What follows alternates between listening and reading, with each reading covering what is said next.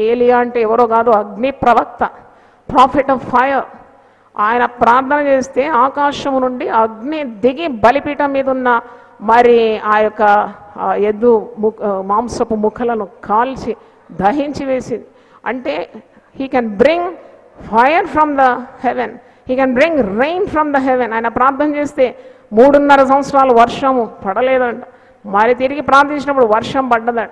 అంటే ప్రకృతి మీద కూడా అధికారం గల ఒక ప్రవక్త.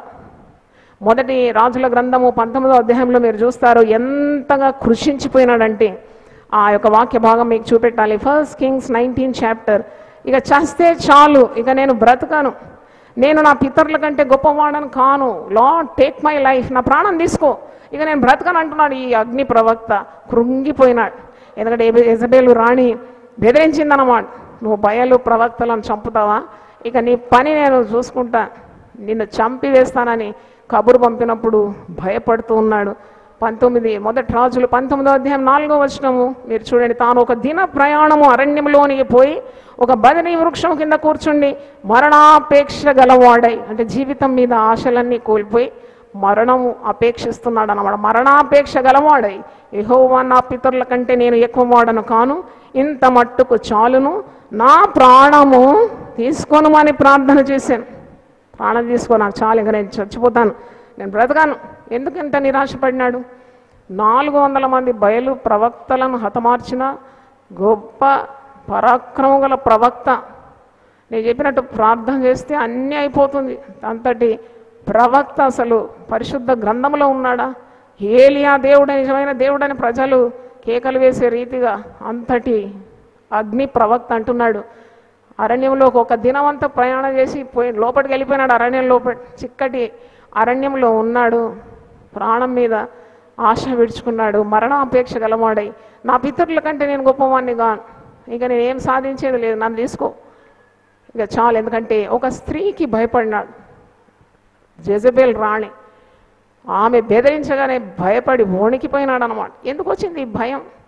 చూడండి భయం అందరికీ సంభవిస్తుంది. దైవజనులకు కూడా కొన్నిసార్లు భయం అవుతుంది.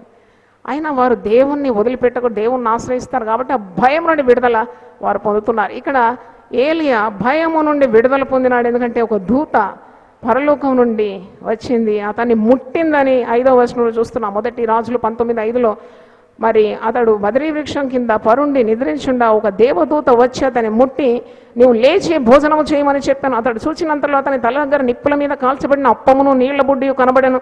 గనుక అతడు భోజనం చేసి తిరిగి పనుండెను అయితే యహోవా దూత రెండవ మారు వచ్చి అతన్ని ముట్టి నీ శక్తికి మించిన ప్రయాణము నీకు సిద్ధమై ఉన్నది. నీవు లేచి భోజనం చేయమని చెప్పినప్పుడు అతడు లేచి భోజనం చేసి ఆ భోజనపు బలము చేత నలువది రాత్రి పగళ్ళు ప్రయాణం చేసి దేవుని పర్తమ పర్వతమని పేరు పెట్టిన హోరేమునకు వచ్చినాడు. ఒక్క పూట ఆహారం తిని నలభై రాత్రి పగళ్ళు ప్రయాణం చేసి పోయినాడంటే చూడండి ఎంత బలం పుంజుకున్నాడు. మరి దేవదూత అంటున్నది నీ శక్తికి మించిన ప్రయాణం నీ ముందు ఉన్నది. నీవు లేచి భోజనం చేసి ఇక ప్రయాణం ఆరంభించి. ఇంకా నీతోటి దేవునికి పని ఉన్నది కదా. చాలాసార్లు విసికి వేసారిపోయి చాలయ్యా నేను చచ్చిపోతానంటే దేవుడు ఆ బలహీనతల్లోనే తన శక్తిని నింపి నువ్వు ఊహించిన దానికంటే నీవు ఆగ్రహి ఆశించిన దానికంటే ఎక్కువైన కార్యాలు నీ ముందు పెడుతూ ఉంటాడు. అది దైవ శక్తి దేవునికి స్తోత్రం. హలెలుయ మరి ఏలియాను బలపరిచిన దేవుడు నిన్ను కూడా బలపరుస్తాడని మర్చిపోకూడదు. కీర్తన నలభై రెండులో ఒక మాట ఉంది. ఇక్కడ మరి కౌరవ కుమారులు రచించిన కీర్తనలు కూడా నీ దేవుడు ఏమాయను అని అడుగుతున్నారని దేవుడు అది చేస్తాడు ఇది చేస్తాడంటే నీ పని ఏమైంది? నీ దేవుడు ఏమైనాడు? అని అడుగుతుంటే బాగా ఏడుస్తూ ఉన్నారు కీర్తనాకారుడు. ఐదవ వచనంలో నా ప్రాణము నాలో కరిగిపోతున్నది నా ప్రాణము అని వేల కృంగి ఉన్నావు? ప్రాణంతో అంటున్నాడు అనమాట ప్రాణంతో నీ మెసేజ్ ఇస్తున్నాడు. నా ప్రాణము నీ వేల కృంగిపోయినావు? నాలో నీ వేల తొందరపడుచున్నావు? దేవుని అందు నిరీక్షణ ఉంచము. ఆయనే నా రక్షణకర్త నీవు నా దేవుడనియు చెప్పుకొని ఇంకాను నేను ఆయనను స్తుతించేది. I will at praise the Lord amidst all my difficulties because my help comes from the Lord అందుకే మన నలభై మూడులో కూడా ఉంది. ఇదే మాట నలభై రెండు చివరి భాగంలో కూడా ఉంది. నా ప్రాణమా నీవేళ కృంగి ఉన్నావు. నాలో నీవేళ తొందరపడుచున్నావు. దేవుని అందు నిరీక్షణ ఉంచుము. ఆయనే నా రక్షణకర్త నా దేవుడు. ఇంకా నేను ఆయనను స్థుతించేదను చూడండి మరి దేవుని బట్టి భక్తులు ధైర్యాన్ని పొందుకుంటున్నారు. దైవని బట్టి శక్తిని పొందుకుంటున్నారు. యోనా భక్తుడు కూడా ఇదే మాట అన్నాడు బ్రతుకుట కంటే నాకు చచ్చుట మేలు. యోనా గ్రంథం నాలుగో అధ్యాయము ఎనిమిదో వచనంలో ఉంది ఈస్ ఇన్వైటింగ్ డెత్ అన్నమాట. అసలు ఎందుకు బతకాలి? యోనాను దేవుడు నినవే పొమ్మన్నప్పుడు సొంత చిత్తంతో తర్షీష్ వెళ్ళడం అక్కడ మరి ఆయన దేవుని చేత పట్టబడడం ఒక పెద్ద మత్స్యం. అతన్ని మింగడం తిరిగి నినవే తీరాన్న తెచ్చి ఆ చేప కక్కుతుంది. మరి వెళ్ళి ప్రజలకు దేవుని సందేశాన్ని ఇస్తున్నాడు. మారు మనసు పొందండి. లేకుంటే మీరందరూ నశించిపోతారు. అప్పుడు ఆ ప్రజలందరూ పశ్చాత్తాపన హృదయంతో బూడిదలో కూర్చుండి గొనపట్ట కట్టుకొని ఉపవసించి పశువులేమి మరి ఆ జంతువులు ఆ రాజు కూడా కిందికి దిగినాడు. అందరు కలిసి ఉపవసించి ప్రార్థన చేసి దేవుడు చేయనుద్దేశించిన కీడు చేయక మానినాడు. అప్పుడు యోనా ఏదైతే ప్రసంగం చేసినాడో మీరందరూ నశించిపోతారు. దేవుని ఉగ్రత మీ మీదకి వస్తుందంటే దేవుని ఉగ్రత రాలేదు దేవుని కరుణ దిగినప్పుడు. యో నాకు ఇక బతకాలని ఆశ లేకుండింది. అసలు నేను చెప్పిన దేవుడు చెప్పిన మాట చెప్తే దే నెరవేరలేదు కదా. ఇంకెలాగ నా ముఖం చెల్లుతుంది. నేను చస్తే బాగుండు. బ్రతుకుట కంటే నేను చచ్చుట మేలని కృంగిపోయి మరి దేవునితో మొరపెడుతున్నాడు. దేవుడు అతన్ని తిరిగి ఉత్తేజపరిచినట్టు వాక్యంలో చూస్తున్నాం. మోషే ఇస్రాయేల్ ప్రజలను నడిపించడానికి ఎంత సహనం కావాలి ఎంత ఓర్పు కావాలి? ఒక సంఘాన్ని నడిపించాలంటే ఓర్పు కావాలి. ఒక కుటుంబాన్ని నడిపించాలంటే ఓర్పు కావాలి. ఓర్పు గలవారే బలమైన వారు ఈ లోకంలో. Those who have patience are very strong people ఎందుకంటే ఓర్పు గొప్ప ద్రోహ కార్యములు జరగకుండా కాపాడుతుంది. ఓర్పు చేత మీ ప్రాణములను మీరు దక్కించుకుంటారని యేసుప్రభు అన్నాడు. చూడండి ఓర్పు నశించిపోయింది మోషే. లక్షలాది జనాన్ని అవసరతలు తీర్చాలంటే అది కూడా అరణ్యంలో ఏది లభించని ఆ అరణ్యంలో వారికి కావలసినవన్నీ సమకూర్చాలంటే it's a very tough thing నీళ్ళు కావాలంటారు మాంసం కావాలంటారు మన్నా దీని విసిగిపోయినామంటారు. అబ్బాబ్బా ఎంతగా మోషేను విసిగిస్తున్నారు? మరి సంఖ్యాకాండము పదకొండో అధ్యాయంలో మోషే ఇలాగూ ప్రార్థన చేస్తున్నాడు. అయ్యో నన్ను చంపయ్య నాకు అసలు బ్రతకాలని లేదు. ఈ ప్రజల మరి ఈ మరి ప్రజలు నన్ను ఇంతగా విసిగిస్తున్నారు అని ప్రార్థిస్తున్నాడు. అది బాగా ఒకసారి చూపెడతాను. సంఖ్యాకాండం పదకొండో అధ్యాయము పదిహేనో వచనంలో.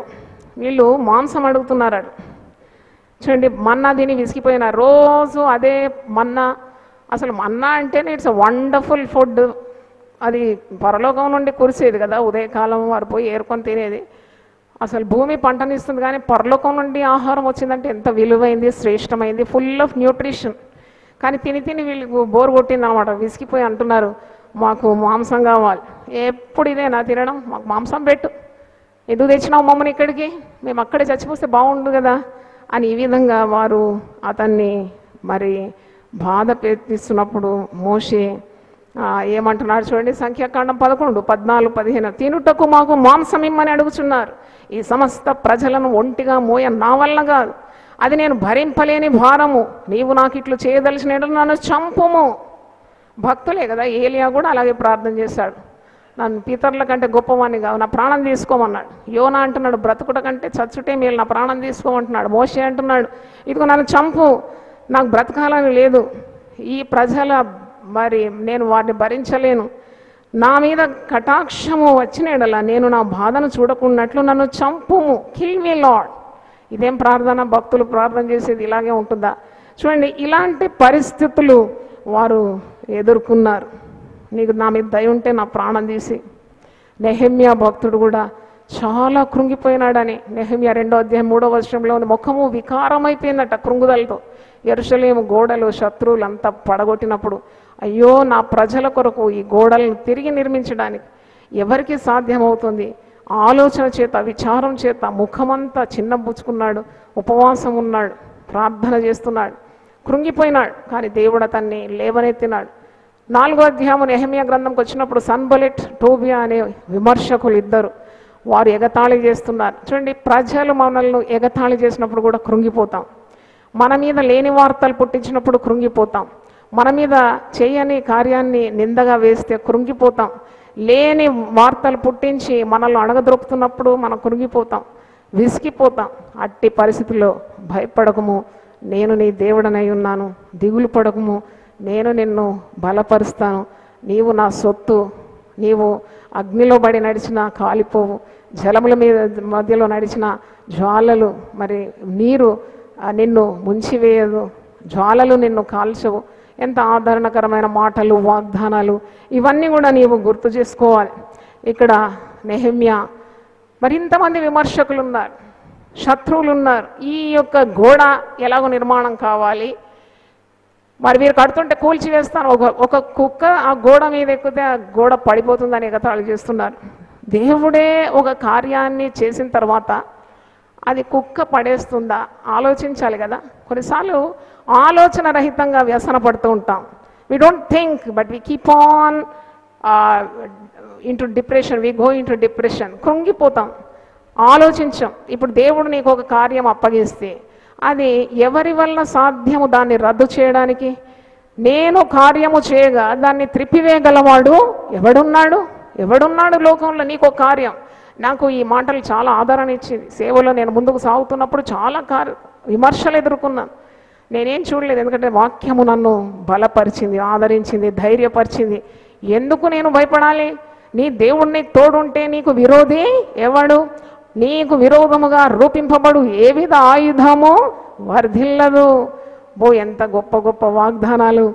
దేవుడు ఆ వాగ్దానాలు నెరవేర్చి అద్భుతమైన సంఘాన్ని దేవుడు ఇచ్చినాడు సేవనిచ్చినాడు పరిచర్యనిచ్చినాడు ఆత్మనిచ్చినాడు వరాలనిచ్చినాడు వాడుకుంటూ ఉన్నాడు. మరి ఇక్కడ నెహమ్యా కూడా మరి నీరసించి పోతున్న సమయంలో దేవుడు ఆదుకున్నాడు బలపరిచినాడు. యాభై మూడు రోజుల్లో ఎవరు చేయలేని కార్యాన్ని చేసినాడు. ఎరుషలేము గోడ నిర్మాణం అయిపోయిందని మనం చూస్తున్నాం. మరి ఇక్కడ వాక్యంలో చూసినప్పుడు ప్రతి విధమైన బాధను దుఃఖాన్ని మరి భయాన్ని దేవుడు చూస్తూ ఉన్నాడు. తన ప్రజల బాధను ఆయన చూస్తాడని వారి మొరను ఆయన వింటాడని ఉదయకాలం నేను స్త్రీలతో మాట్లాడినప్పుడు చెప్పినాను. నిర్గమకాండం మూడో అధ్యాయం ఏడో వచనంలో ఇస్రాయేల్ ప్రజలు ఐగుప్తు బానిసత్వంలో ఉన్నప్పుడు వెట్టి చాకిరి వారితో చేస్తున్నప్పుడు వారు మూలుగుతున్నారంట. మూలుగుతున్న they were groaning under pressure ఎందుకంటే భయంకరమైన కఠిన బాధలు వారికి సంభవించినప్పుడు వారు మూలుగుతున్న మూలుగుల శబ్దము ఎహోవా చెవిలో వచ్చానని వారి మొరను ఆయన విన్నాడని వారి బాధను ఆయన చూసినాడని నిర్గమకాండ మూడో అధ్యాయం ఏడో వచనంలో చూస్తున్నాం. యాభై ఆరో కీర్తన ఎనిమిదో వచనంలో ఉంది. నీ కన్నీళ్ళను నేను నా బుడ్డిలో భద్రపరిచినాను. నీ సంచారములన్నీ నేను లెక్కించినాను. అవి నా కవిలలో కనబడుతుంది. చూసి చూడనట్టు ఎప్పుడు దేవుడు ఉండడు. తన ప్రజలు బాధపడుతుంటే he will not keep winking ఏదో చూసి చూడనట్టు పర్వాలేదులే. వాళ్ళు ఇలాగే ఉంటారు కష్టపడుతూ ఉంటారు కాదు. నీ శ్రమలో తోడై ఉంటాడు. నీ శ్రమలో నిన్ను ఆదరిస్తాడు. ఆ శ్రమ ద్వారా నీకు మంచి తరబీదిస్తాడు. నీకు మంచి ఆత్మీయ పాఠాలు నేర్పిస్తాడు. నీ జ్ఞానాన్ని పెంపొందిస్తాడు. అనుభవం ఇస్తాడు. శ్రమానుభవం. అందుకే వాక్యంలో ఉంది మీరు యోబు శ్రమను గురించి ఆలోచించారా? ఆ శ్రమానుభవం ద్వారా. ఎంత ఓపిక కలిగి ఆ శ్రమను ఆయన ఎదుర్కొన్నాడు అని యాకోబు ఐదో అధ్యాయంలో మనం చూస్తున్నాం. కాబట్టి నిన్ను విడువని దేవుడు ఒకడు ఉన్నాడు. శ్రమ రాగానే కృంగిపోవడం కాదు. శ్రమ వచ్చినాక ఎందుకు వచ్చింది బాధ అని అడుగుతారు కొందరు. నేను ప్రార్థన చేస్తాను కదా నేను ఉపవాసం ఉంటాను కదా మందిరానికి క్రమంగా వెళ్తాను కదా పాటలు పాడతాను సేవలో ఉంటాను నాకెందుకు వచ్చింది శ్రమ? అసలు నువ్వెవరు ప్రశ్నించడానికి? దేవుడు మరి ప్రణాళిక లేకుండా ఆయన ఒక ఆలోచన లేకుండా ఏ కార్యము చేయడు కదా. ఒకడు దేవుని ప్రేమిస్తే వాడు దేవునికి ఎరుకైన వాడే అని మొదటి కొరింత ఎనిమిదో అధ్యాయం మూడో వచనంలో ఉంది. నువ్వు దేవుని ప్రేమిస్తే దేవునికి ఎరుకైన వ్యక్తివి నీవు దేవునికి సమస్తము తెలుసు. దేవుని చిత్తం చాలా గొప్పగా ఉంది నీ జీవితం పట్ల. భూమికి ఆకాశం ఎంత ఉన్నతంగా ఉందో అంత ఉన్నతంగా ఆయన ఆలోచనలు తలంపులు క్రియలు ప్రణాళికలు ఆయన ఎందు భయభక్తులు గారి వారి పట్ల ఉన్నది. నీకు వచ్చిన కీడు ఒక మేలు కొరకని నీకు తెలియదు కానీ ఆ కీడులో ఒక మేలు దాగి ఉన్నది.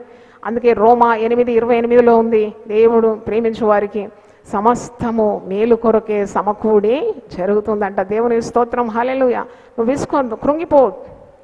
మనుషులు ఏదైనా ఒక మాట అంటే ఎంత కృంగిపోతారు? చూడండి మన ప్రాణములు విసుకకుండా మనం అలసిపోకుండా పాపాత్ములు ప్రభువుకు విరోధంగా చేసిన తిరస్కారం అంతా ఏ విధంగా ఆయన ఎదుర్కొన్నాడు? అది ఒక్కసారి ఆలోచిస్తే ఆయన మనకు అనుగ్రహించే మహిమ ఎదుట మనం పడే శ్రమలు ఏవి కూడా లెక్కకు రాదు ఎన్నిక రాదని వాక్యంలో మనం చూస్తున్నాం.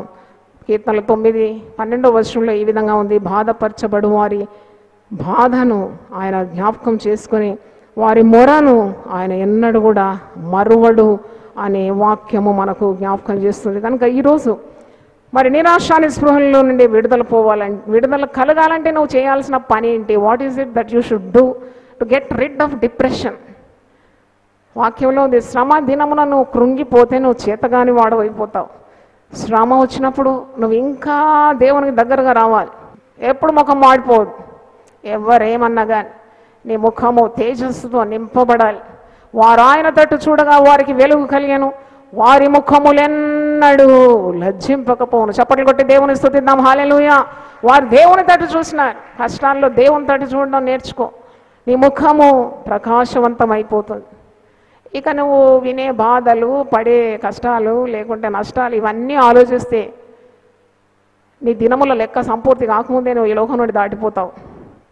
దేవుడిని ఆశ్రయించు depend on God cast your care upon him for he care for you ఆయన నిన్ను గురించి చింతిస్తున్నాడు గనక నీ చింత యావత్తు ఆయన మీద వేయి. తప్పకుండా ఎవరితోనో దేవుడు ఈరోజు మాట్లాడుతున్నాడు. కీర్తనలు అరవై ఆరు ఒకసారి తీయండి. ఇక్కడ మంచి మాట ఉంది.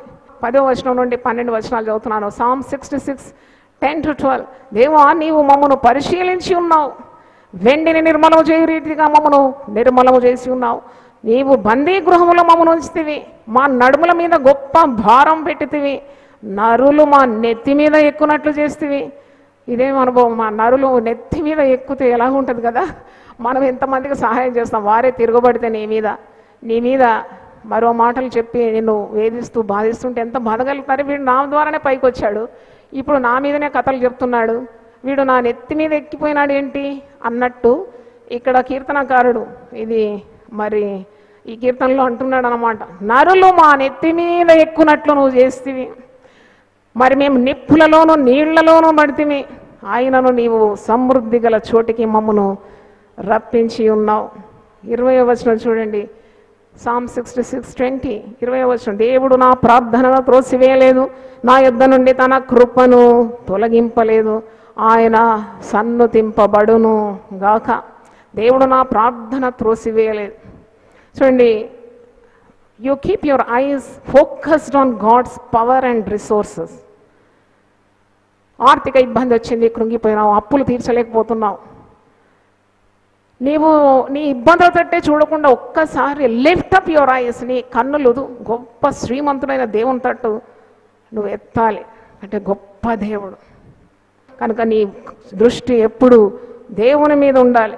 ఆయన నీకు చేసిన వాగ్దానాలను నీవు జ్ఞాపకం చేసుకుంటూ ఉండాలి. యూ టు మెమరైజ్ ఆర్ నీవు నెమరు వేస్తూ ఉండాలి. దేవుడు నీతో మాట్లాడిన కొన్ని మాటలు ఉంటుంది కదా తిరిగి జ్ఞాపకాన్ని తీసుకొని వచ్చి వాటి మీద ధ్యానం ఉంచాలి. అప్పుడు భయము సందేహము అనుమానం ఇవన్నీ కూడా పారిపోతుంది. మరి ఆ తర్వాత దేవుని నామములు నేను చెప్పాను వెయ్యి నామాలు చిన్న పుస్తకం పది రూపాయలే కానీ ఒక దగ్గర కూర్చొని ఆ వెయ్యి నామాలు చదువుగానే వెంటనే ఛార్జింగ్ అయిపోతావును ఎందుకంటే దేవుడు ఎవరో నీకు తెలిస్తే దేవుని బిరుదులు ఒక్కసారి ధ్యానించినప్పుడు ఇంత గొప్ప దేవుని కలిగి ఉన్నాను కదా అని చెప్పి నీ యొక్క కృంగుదల నుండి తప్పకుండా విడుదల పొందుతావు దాంట్లో సందేహం లేదు.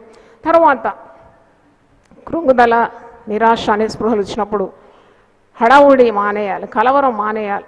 దేవునికి ఒక చిత్తం ఉంది అది తగిన సమయంలో నెరవేరుతుంది.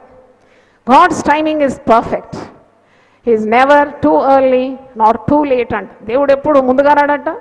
ఆలస్యంగా రాడ తగిన సమయం అందు ఆయన నిన్ను హెచ్చిస్తాడు దేవుని స్తోత్రం. హాలెలుయ మీరు ఆయన బలిష్టమైన రెక్కల క్రింద దీన మనస్కులైనడి తగిన సమయం అందు ఆయన నిన్ను ఏం చేస్తాడు? హెచ్చిస్తాడు సహాయము ఆయన యుద్ధ నుండి వస్తుంది. గాడ్స్ టైమింగ్ ఈజ్ పర్ఫెక్ట్ తర్వాత దేవుని అందు విశ్వాసం ఉంచాలి. ఆయన కీడు చేయడట. మనపూర్వకంగా ఎవరిని ఆయన బాధించాడు?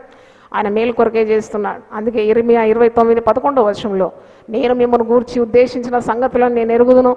అవి హానికరమైనవి కావు. రాబో విషయంలో మీకు మేలు కలిగినట్లే ఉన్నాయి నా నా యొక్క ఆలోచన యావత్తు మీ పట్ల. కాబట్టి మీరు భయపడే అవసరం లేదు. మీరు నాకు మొరపెట్టుదురేని నేను మీకు సహాయం చేస్తానని వాగ్దానము మనం వాక్యంలో చూస్తున్నాము. ప్రభు ఈరోజు మాట్లాడుతున్నాడు. నీవు కృంగి ఉండగా ఆయన నిన్ను లేవనెత్తుతాడు. పడిపోయిన వారిని ఉద్ధరించే దేవుడు కృంగిన వారిని రక్షించే దేవుడు.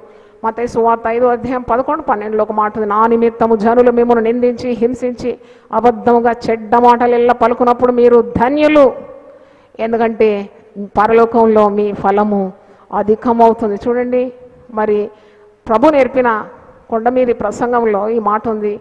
మీరు ఒకవేళ మిమ్మల్ని ఎవరైనా బాధిస్తుంటే కూడా అబద్ధంగా మీ మీద చెడ్డ మాటలు ఆడినా మీరు ఏం భయపడే అవసరం లేదు. నిందిస్తే భయపడే అవసరం లేదు.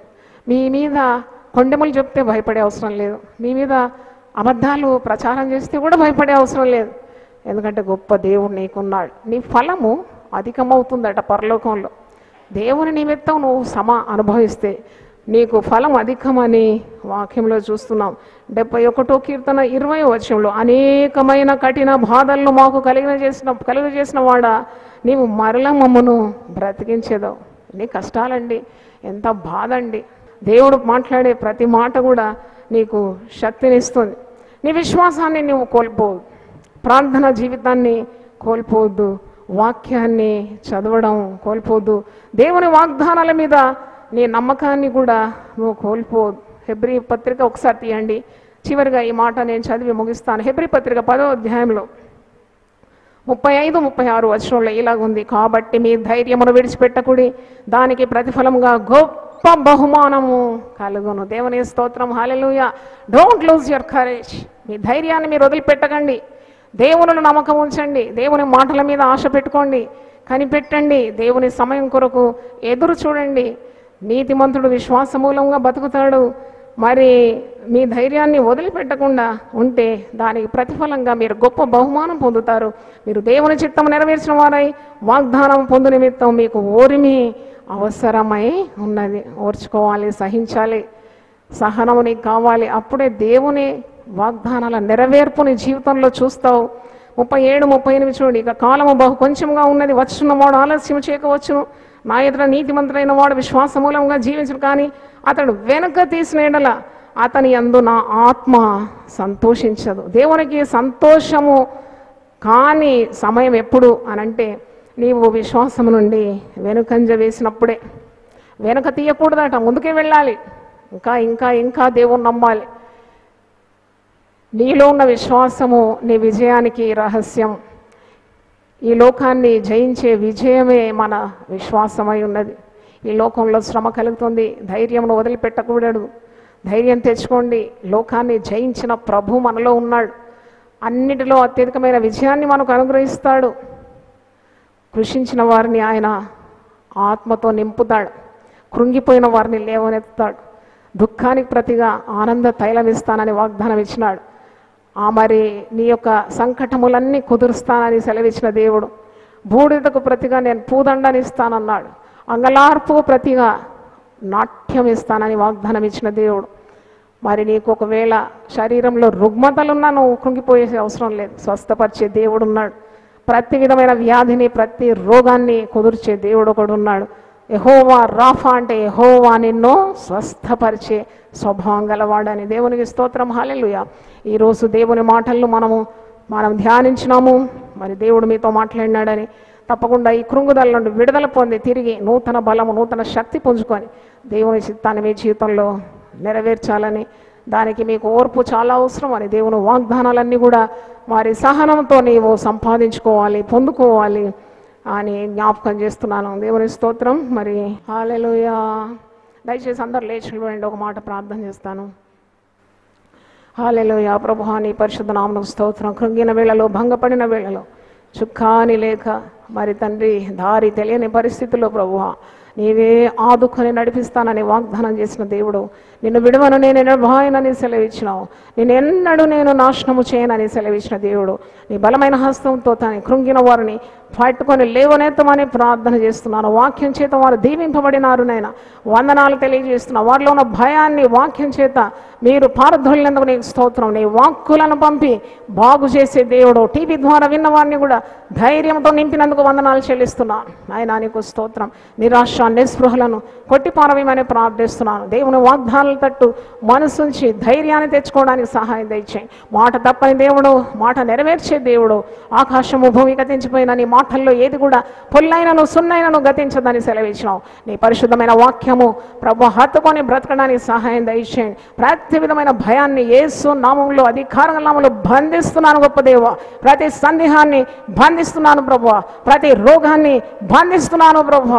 ప్రతి అసమాధానాన్ని బంధిస్తున్నాను దాని దేవ కృంగుదలను అధికారంగా నామలు బంధిస్తున్నాను. ఆయన కృంగిన వారిని రక్షిస్తానని సెలవిచ్చిన దేవుడు. భయపడే వారికి ధైర్యం ఇచ్చే దేవుడు నైనా పడిపోయిన వారి సహితము లేవనెత్తే గొప్ప దేవుడు ప్రభువ. దేని గురించి కూడా చింతించకుండా ప్రతి విషయము ప్రార్థన విజ్ఞాపన చేత కృతజ్ఞతాపూర్వకంగా వారి వన్నం విన్నపములను నీకు తెలియజేయడానికి సహాయం దయచేయండి. సమస్త జ్ఞానమునకు మించిన దేవుని సమాధానంతో నింపుతానని వాగ్దానం చేసిన దేవుడు అయి ఉన్నావు తండ్రి. ఆయన నీ బిడ్డల తల మీద నీ హస్తం ఉంచి వారిని ఆశీర్వదించండి. ప్రతి విధమైన బలహీనత నుండి విడుదల మీరు దయచేయమని ప్రార్థిస్తున్నాను ఆయన ఓర్పు సహనము దయచేయండి వాగ్దానాలు నెరవేర్పు కొరకు కనిపెట్టడానికున్న సహనము మీరు దయచేయమని ప్రార్థన చేస్తున్నాను. తగ్గిన కాలమందు హెచ్చించే గొప్ప దేవుడమై ఉన్నావు తండ్రి. నిన్ను ఆనుకోవడానికి సహాయం దయచేయండి. నీ మీద ఆశ పెట్టుకోవడానికి కృప దయచేయండి. నీ మీద ఆధారపడడానికి సహాయం దయచేయండి. ప్రార్థనా శక్తి వారికి దయచేయమని ప్రార్థిస్తున్నాను. నీ దాసురాలు నిలబెట్టుకున్నందుకు వందనాలు చెల్లిస్తున్నాను. తిరిగి రేపు మా ప్రయాణంలో కూడా తోడుగా ఉండి మేము ఎక్కడున్నా ఒకరి కొరకు ఒకరు మేము ప్రార్థన చేసుకోవడానికి ప్రార్థనలో జ్ఞాపకం చేసుకోవడానికి సహాయం దయచేయమని పరిచర్య అంతటి మీద నీ కృపను ధారాళంగా కుమ్మరించమని. ఇప్పుడు నీ బిడ్డల ఇంటికి వెళ్తుండగా తగిన వాహన సౌకర్యాలు అనుగ్రహించి సురక్షితంగా వారి గమ్యము చేర్చమని ప్రార్థిస్తున్నాం నీ దాసురాల్లో సేవను పరిచర్యను కుటుంబాన్ని కూడా జ్ఞాపకం చేసుకొని ఇంకా నీ కొరకు గొప్ప కార్యాలు చేయడానికి నీ దీన దాసురాలు బలపరిచి ఆశీర్వదించమని అనేక నశించే ఆత్మలని సన్నిధికి నడిపించడానికి ఉన్న గొప్ప అభిషేకము కొలత లేకుండా మాకందరికి మీరు దయచేయమని ఏసు నామంలో అడిగి వేడుకుంటున్నాను తండ్రి. ఆమెన్. ఆమెన్. హాలెలుయా దేవుడు మళ్ళీ సమృద్ధిగా దీవించును గాక ఆమెన్